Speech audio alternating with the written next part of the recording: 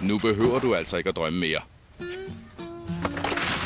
Lån fra 5.000 til 300.000 kroner på ikanobank.dk. Ikanobank. Gør det nemt at låne til livet. Superbest fejrer 15 års jubilæum med masser af forrygende knaldtilbud.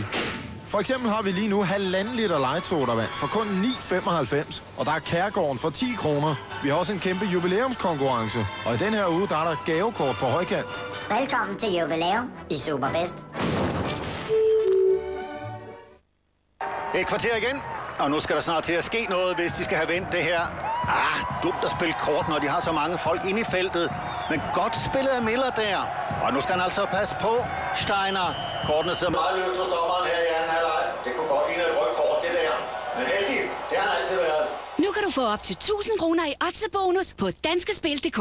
Og husk, de tårnhøje kommatal er kommet for at blive på Otze.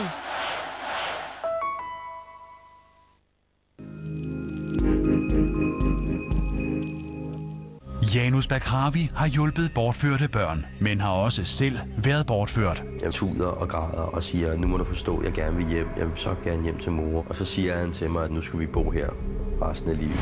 Nu tager han tilbage til Jordan for at konfrontere sin far. Man kan jo ikke bare glemme sin fortid. Og i station 2 handler det om 21-årige Jem Aiden. Hvorfor skulle han sparkes og trampes ihjel?